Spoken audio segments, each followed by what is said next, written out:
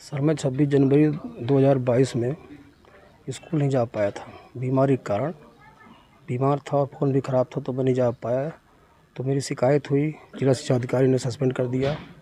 Suspend के बाद मुझे अटैच कर दिया गया नगर पाटन ब्लॉक शिक्षा अधिकारी के यहाँ। मैं भी साल भर से, सर, वहीं पर अटैच हूँ। मेरी बहाली अभी तक नहीं हुई। फिर जिला ब्लॉक के जिला शिक्षा अधिकारी हमसे बोले कि जब तक पैसा नहीं दोगे तुम्हारी कहीं सुनवाई नहीं होगी पैसा दो तो हम बहाल करवा देंगे। कौन से ब्लॉक शिक्षा अधिकारी?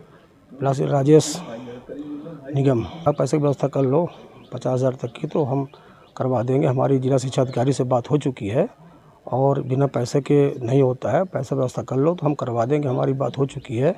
आपको कुछ नहीं करना पैसे बस की व्यवस्था केवल कर लो। तो मैं परेशान था सर। पैसे की व्यवस्था नहीं हो पा रही थी। आज मैं किस तरह से पैसे की व्यवस्था करके आया?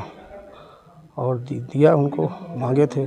और जो गुप्ता बाबू उनको भी बोले थे कि व्यवस्था करके नसीर खान को बोलो कि व्यवस्था करे पैसे की तो वो भी हमको दवा डाल रहे थे। पैसे की व्यवस्था कर लो बिना पैसे के नहीं होगा ऐसे भटकते रहोगे। सो मैं परेशान था और मैं उनको पैसा लेते हुए पकड़ाना चाहता हूँ मैं रिश्वत नहीं देना चाहता था। लोकायुक्त की शिकायत कब की थी आपने? हमने की थी बाईस तारीख को। शिक्षक हैं नसीर मोहम्मद नसीर खान। इनकी पोस्टिंग थी संकुल केंद्र नादन। तो वहाँ पर ये एबसेंट किसी ना आए थे तो सस्पेंड कर दिया था इनको एक साल पहले 26 जनवरी को। तब से इनको यहाँ पे सस्पेंड करके इस ब्लॉक में अटैच कर दिया था।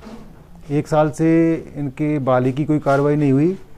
तो यहाँ के जो B B O M block शिक्षा अधिकारी, राजेश कुमार निगम इनसे इन्होंने बात की होगी तो उन्होंने बोला कि मेरी डी ओ सतना से बात हो गई है और आप उनकी जो भी है पैस, पैसे लगेंगे पचास हज़ार रुपये वो मांग रहे हैं। आप दे दोगे तो आपका बहाली करा देंगे। इस आशय की शिकायत लेके ये एसपी लोकायुक्त श्री धाकड़ साहब के पास आए। उन्होंने शिकायत का सत्यापन कराया।